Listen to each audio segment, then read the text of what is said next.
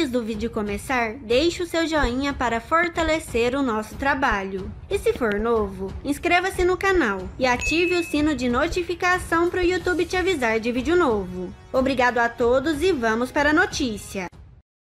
Olá pessoal, tudo bem? Sejam todos bem-vindos ao Giro de Notícias do canal Márcio Novaes. Morreu hoje um famoso, choro e tristeza.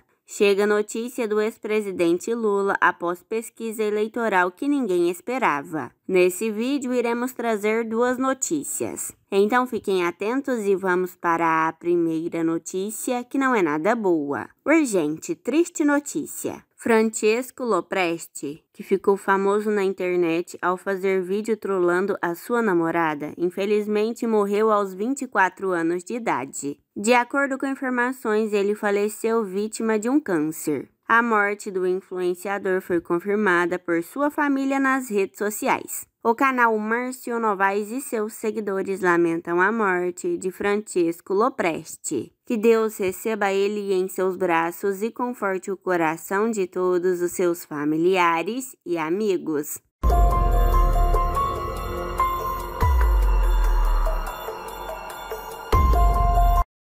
Agora vamos para a segunda e última notícia. Urgente, acaba de sair mais uma pesquisa XP e PESP divulgada nesta sexta-feira, 25 de março de 2022. De acordo com a pesquisa, aponta Luiz Inácio Lula da Silva do PT como líder da corrida eleitoral para o Palácio do Planalto, com 44% das intenções de votos. Jair Messias Bolsonaro do PL é o segundo colocado com 26% das intenções de votos. No cenário estimulado, o ex-presidente Lula aparece com a preferência de 44% dos eleitores contra 26% do atual presidente Jair Bolsonaro.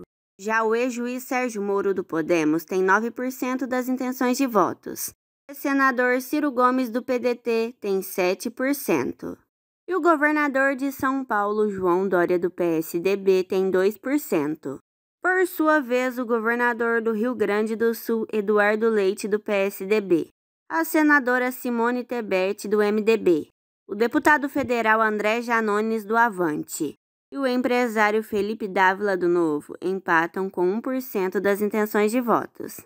A pesquisa foi registrada no Tribunal Superior Eleitoral TSE sobre o número BR 04222-2022. E para você, qual destes candidatos vai ser o novo presidente do Brasil em 2023? Deixe aqui nos comentários, a sua opinião é muito importante para nós. Se você for novo aqui no canal, peço que se inscreva e deixe o seu joinha para fortalecer o nosso trabalho. E não se esqueça de compartilhar o vídeo. Mais informações do Brasil e do mundo a qualquer momento no canal. Obrigado a todos, fiquem com Deus e até o próximo vídeo do canal Márcio Novaes.